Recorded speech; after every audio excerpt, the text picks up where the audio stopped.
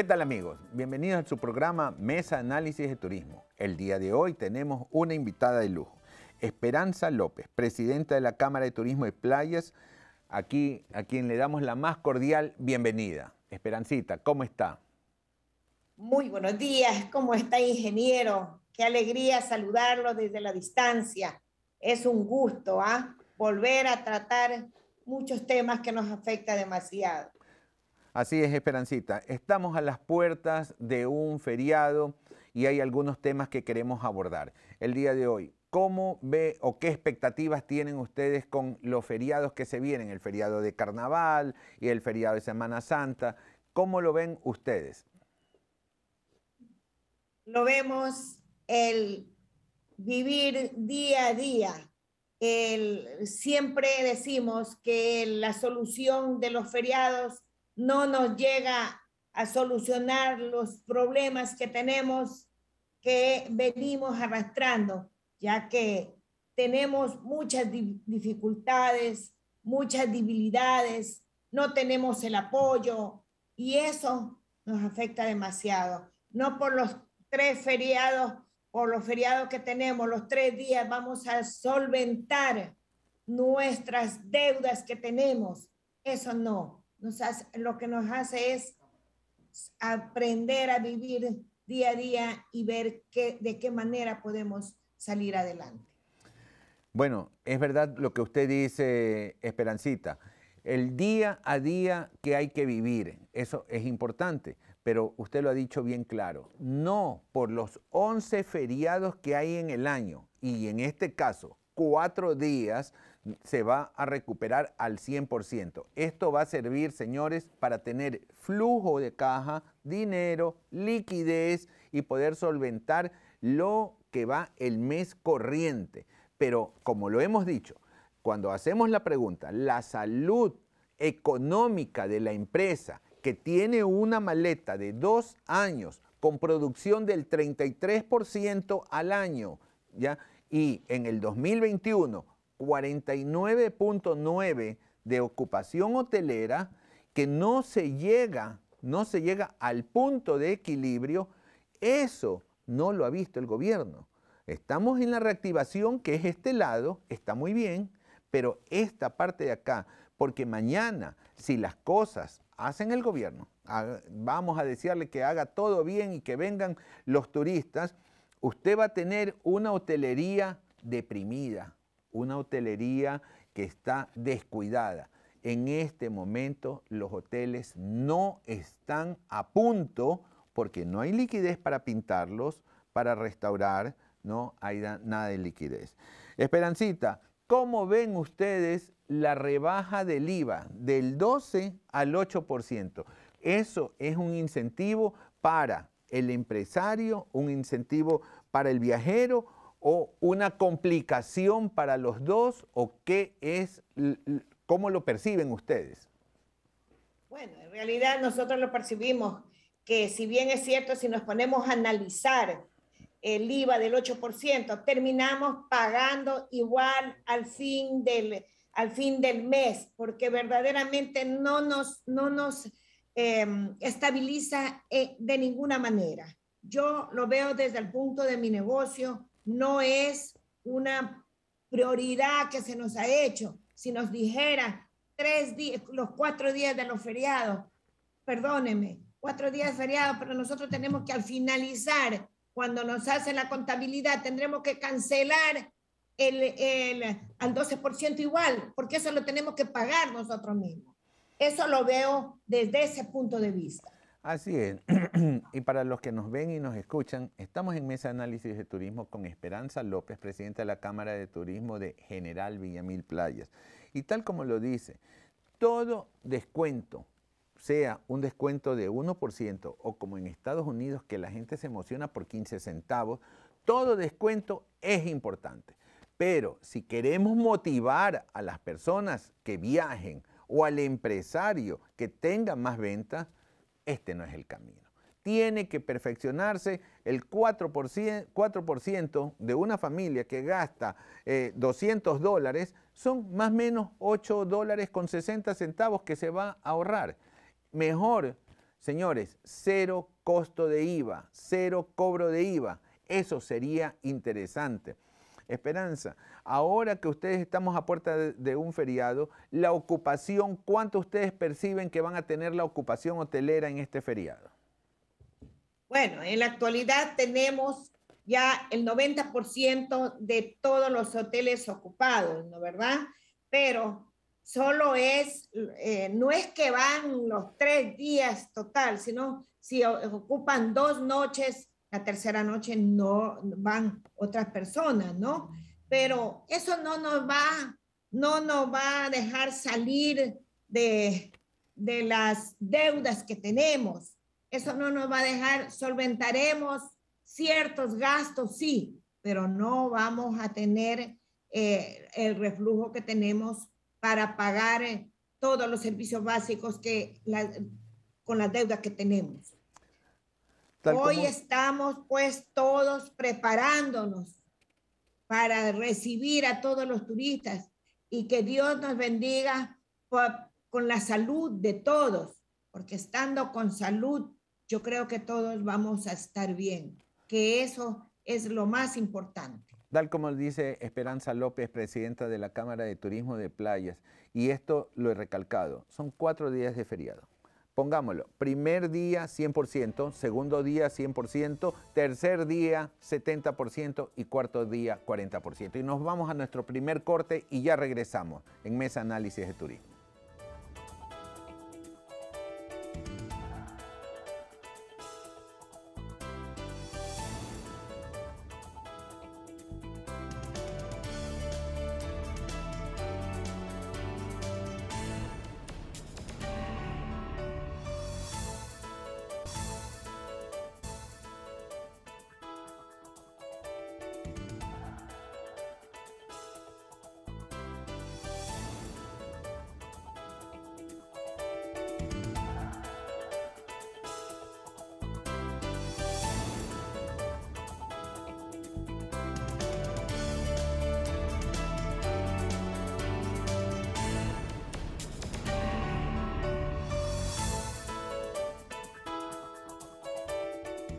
¿Qué tal amigos? Estamos de regreso en Mesa Análisis de Turismo. Estamos con Esperanza López, presidenta de la Cámara de Turismo de General Villamil Playas.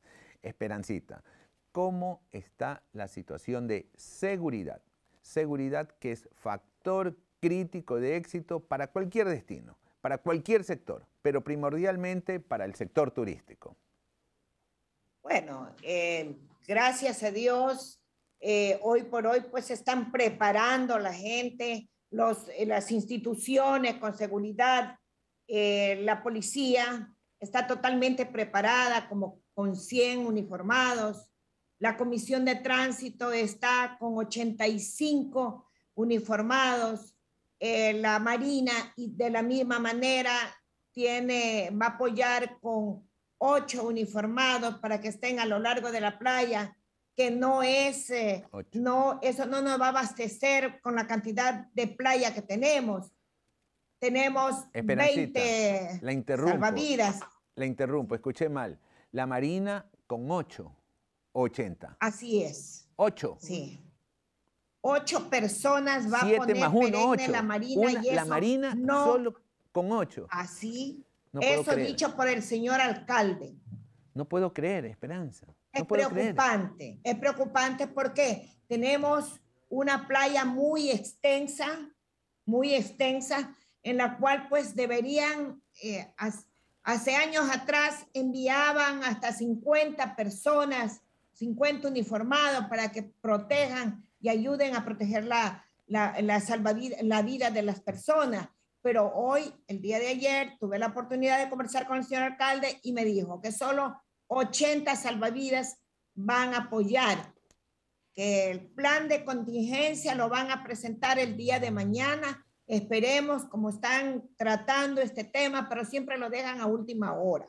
Y eso sí nos preocupa, porque, perdónenme, la vida de la persona no tiene precio y hay que prepararnos en ese sentido. Es preocupante. En cuanto a seguridad, como le decía, todos estamos listos con la seguridad, con el municipio eh, pues todo van a, van a estar pendientes. Es preocupante escucharle lo que usted dice, Esperancita. Perdón, es preocupante lo que usted dice de ocho personas. Sí, el día de mañana nosotros estamos con el gobernador del Guayas por el tema de seguridad.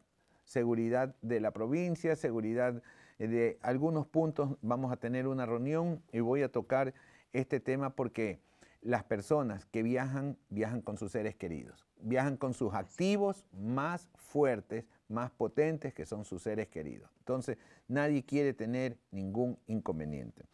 Perancita, ese tema hay que, hay que analizarlo y verlo bien. Ahora, el tema de la gastronomía, ¿cómo están preparando ustedes? ¿Qué promociones? ¿Tienen conciertos? ¿Tienen bailes? ¿Tienen desfiles? ¿Qué promociones han hecho? Y un tema más, Esperanza, para que me lo pueda responder, es el gobierno autónomo descentralizado, el alcalde y, todos ustedes han hecho promociones a lo largo de este tiempo que a las personas ven a General Villamil Playas, ven al segundo mejor clima del mundo. ¿Lo han hecho o les falta? Bueno, es, nos falta. A última hora hemos, este, sabemos que van a haber eventos, eventos internacionales.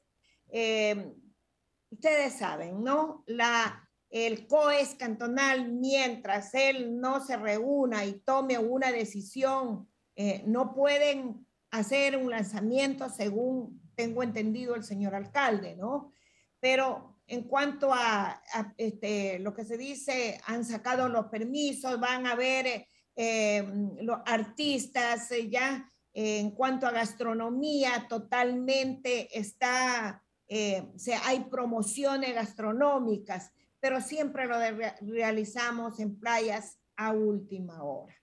Pero como playas está tan cerca de la ciudad de Guayaquil y es una playa muy querida a nivel nacional, pues eh, los, los, turistas van a visitarnos y, y, vemos desde últimamente, pues los fines de semana, que llega turista en cantidad. Entonces, eh, en eso todos estamos preparados eh, hemos hecho reuniones con asociaciones y pues se han preparado con los, con los víveres para de esa manera poder recibir y dar el alimento a los turistas. Esperancita, la informalidad.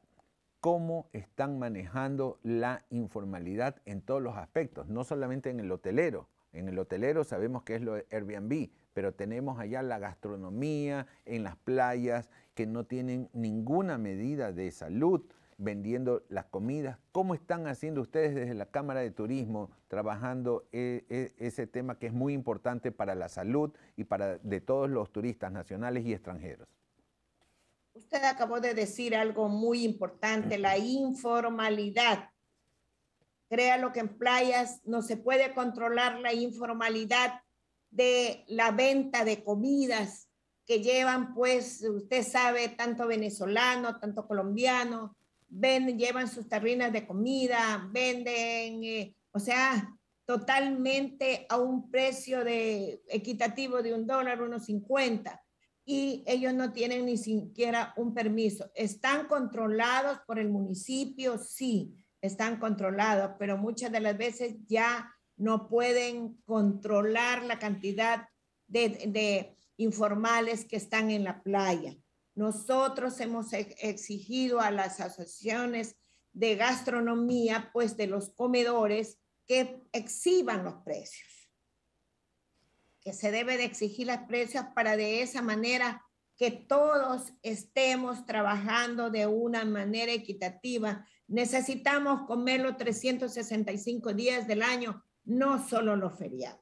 Y eso se ha hecho una concientización con los, con eh, de los restaurantes y han quedado a tratar de apoyar esta, en este feriado. Esperancita, nos vamos a nuestro siguiente corte y ya regresamos con Mesa de Análisis de Turismo.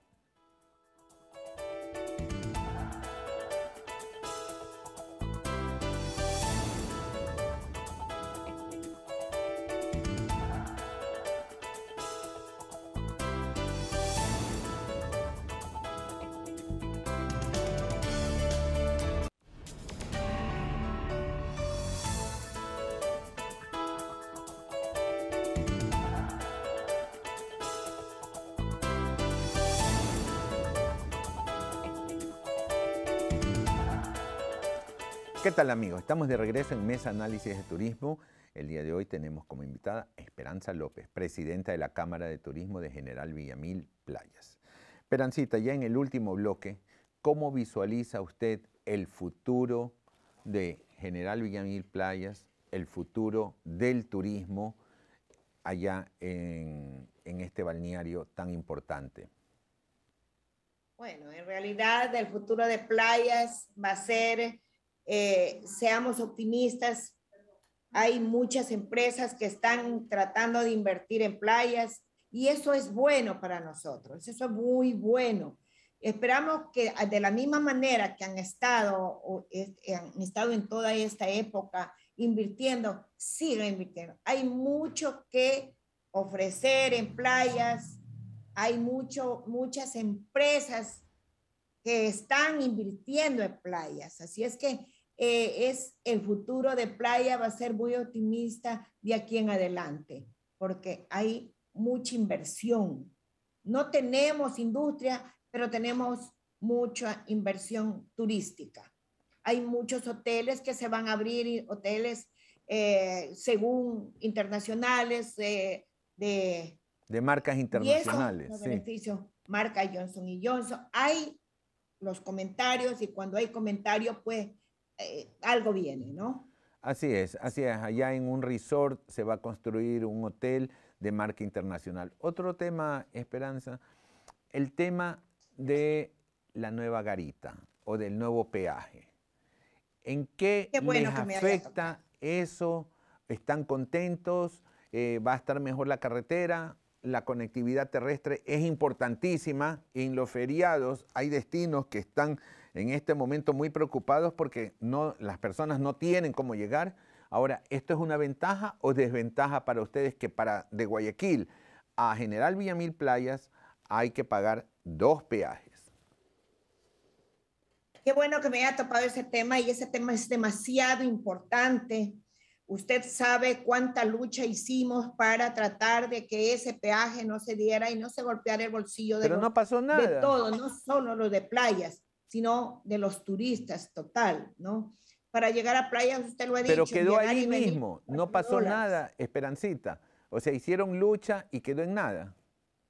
Quedó en absolutamente en nada porque el gobierno no tomó en cuenta lo que nosotros estábamos diciéndole. Está bien, si queremos, nosotros queremos crecer, nosotros queremos que haya un carretero con óptimas condiciones, pero de la misma manera que hay un beneficio que quede para playas, no lo, no, hasta el momento no lo conocemos. Se hizo un oficio a la Asamblea Nacional como institución de Cámara de Turismo, pero hasta el día de hoy nunca nos contestaron. Pero ahí tenemos el peaje puesto, ¿no verdad?